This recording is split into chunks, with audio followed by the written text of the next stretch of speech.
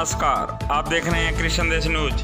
उपखंड सूरतगढ़ के विद्युत निगम पर यहाँ के गाँव अरदास वाली पाँच एस डी पदमपुरा के ग्रामीणों द्वारा विद्युत संबंधी कुछ समस्याओं को लेकर लगाए जा रहे हैं और यहाँ के ग्रामीणों का आरोप गाँव की विद्युत सप्लाई सुबह 11 बजे से शाम 5 बजे तक पिछले कुछ दिनों से लगातार की जा रही है बाधित, जिसके चलते ग्रामीण बेहद परेशान।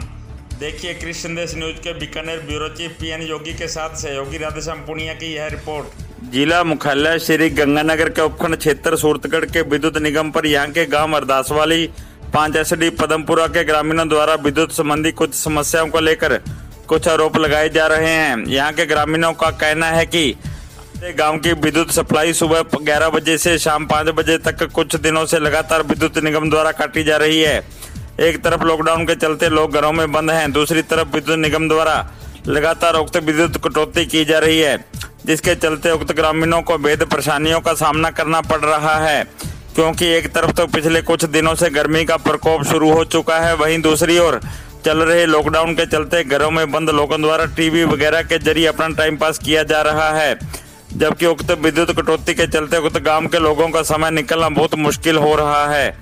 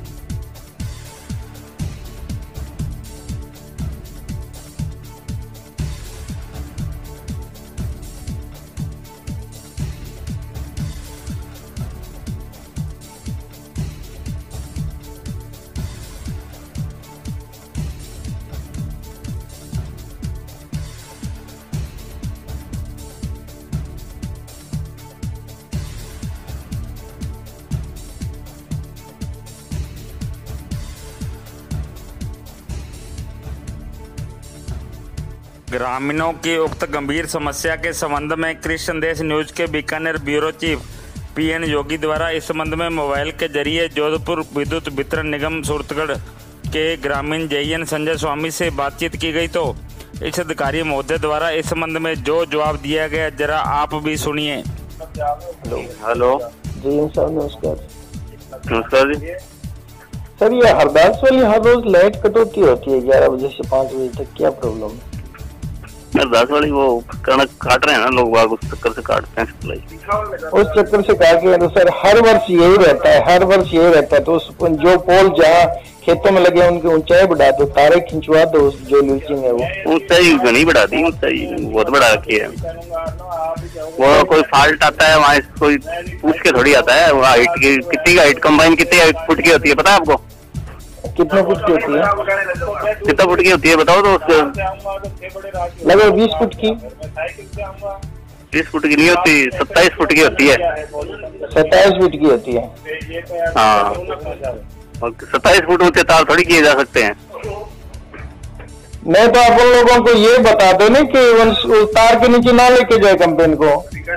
अजी कितने बताए तो वहाँ खड़ा थोड़ी रहे आदमी हर आदमी कितने आदमी थोड़ी है जो हर खेत में खड़ा रहे लोग समझते ही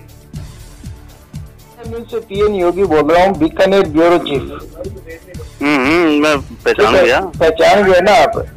हम्म। आपका यही जवाब है ना लास्ट हाँ तो इसका इलाज यही है कि जब तक पाँच चार दिन कणक चले तब तक कंपाइन कंपाइन चले तब लाइट बंद कर रखे हैं अपन।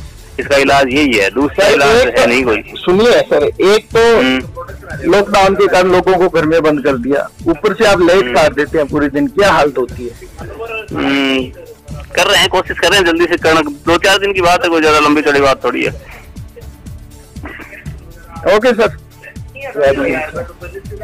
थैंक यू आपको ग्रामीण जेएन संजय स्वामी का उक्त विद्युत कटौती के संबंध में कहना है कि उक्त विद्युत कटौती की तारें निर्धारित ऊंचाई पर हैं। व गेहूँ कटाई का सीज़न होने के चलते गेहूँ कटाई के लिए खेतों में आने वाली कंबाइन मशीनों, जिनकी हाइट 27 फुट के करीब होने के कारण उनके उक्त तारों में अटकने से यहाँ पर कोई हादसा ना हो। इसकी वजह से ही उक्त विद्युत कटौती की जाती है। उक्त जेएन महोदय के उक्त जवाब की कंबाइन की हाइट 27 फुट होती है के संबंध में कृषि संदेश न्यूज़ की टीम द्वारा कंबाइन की हाइट के बारे में कंबाइन के ड्राइवर से बातचीत की गई तो उन्होंने इसकी हाइट 14 फीट के करीब बताया। वह इस दौरान उक्त खेतों में नीचे लटक रही विद्युत की तारों का भी कृषि संदेश न्यूज़ की टीम द्वारा जायजा लिया गया। इसकी ऊंचाई कितना फुट है?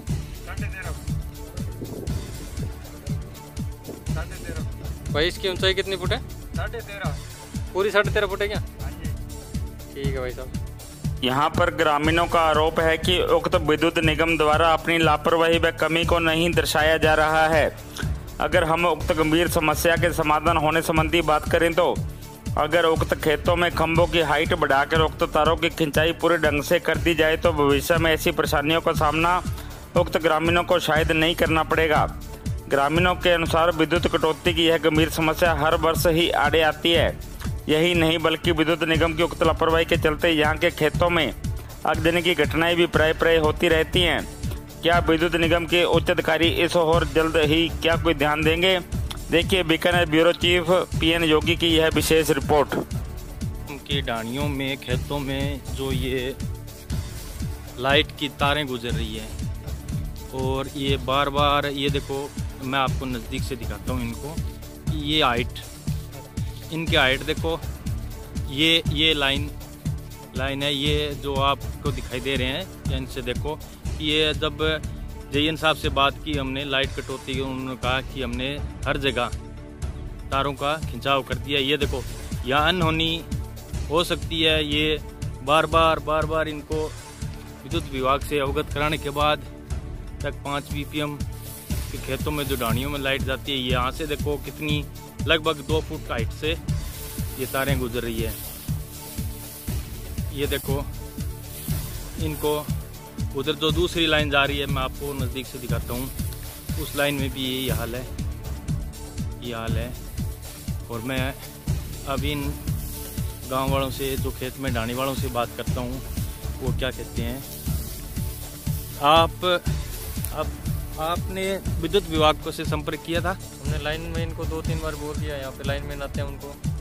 तो फिर उन्होंने क्या कहा? उन्होंने कहा पीछे से कम मिलेंगे तब इनको बीच में कम रोक के सही कर देंगे। और ये कितने टाइम से चल रही है? दो साल से। दो साल। आप जब इनको खेतों में जुताई वगैरह करते हो तो कोई परेशानी नहीं होती क्या? परेशानी बहुत होती है इनको लकड़ी लगा के तो अमन अनहोनी की भी घटना हो सकती है ना? हो सकती है। कृषि संदेश न्यूज़ से मैं प्रेस रिपोर्टर आदेश